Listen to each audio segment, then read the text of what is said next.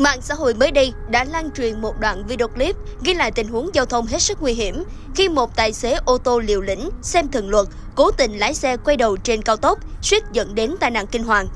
Vụ việc được xác định xảy ra vào khoảng 15 giờ ngày 29 tháng 4 năm 2023 trên cao tốc Cao Bồ Mai Sơn, đoạn qua địa bàn xã Ninh An, huyện Hoa Lư, tỉnh Ninh Bình.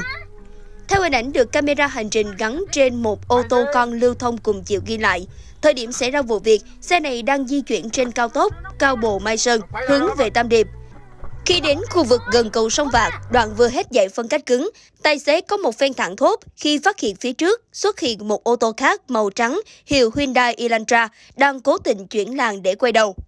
Đáng nói, tài xế xe Elantra này còn hết sức liều lĩnh khi đánh lái cho xe quay đầu ngay trên cao tốc, bất chấp phía sau và ở chiều ngược lại đang có rất đông phương tiện khác lưu thông với tốc độ cao. Tình huống suýt dẫn đến tai nạn liên hoàn khiến nhiều người chứng kiến vừa hoảng hốt vừa không khỏi bức xúc. Trên mạng xã hội, đoạn video ghi lại vụ việc sau khi được đăng tải trên các diễn đàn, hội nhóm mạng xã hội đã nhanh chóng lan truyền, thu hút sự chú ý từ đông đảo cộng đồng mạng. Đa phần người xem tỏ ra vô cùng bất bình và phẫn nộ trước kiểu lái xe bất chấp của tài xế ô tô Elantra.